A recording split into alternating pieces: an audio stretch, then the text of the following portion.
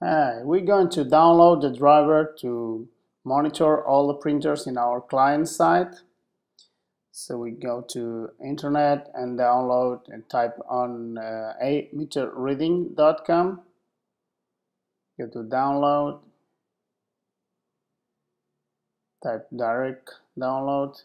We save the file, double click on it. That's a very small file we type in the license. We take this away. Okay. We type in the license. Here's a demo license but uh, you will have your license when your client. Then all the files will be downloaded to your file to your folder. Okay. Okay. We are done. Uh, right.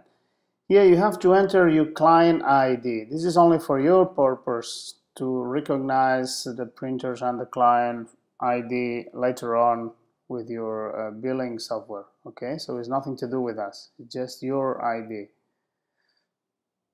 great. Now we have the ID done. Now we just hit scanner scan for printers and automatically we'll start scanning the network looking for printers okay we see here this testing thing. This is a testing communication with the server.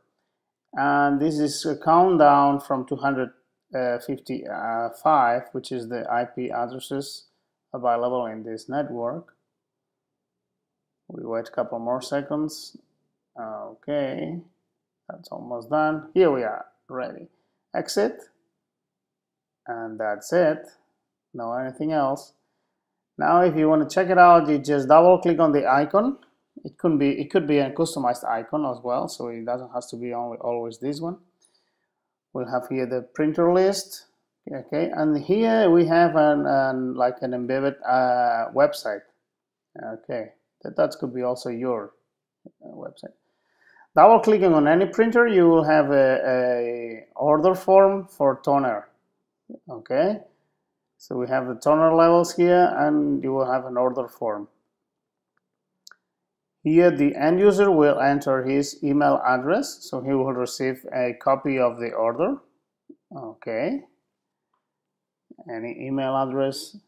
And you will receive another one, of course, but don't, you don't need to enter anything here. It will be automatically done. And of course, the name and phone number for contacting phone contact details.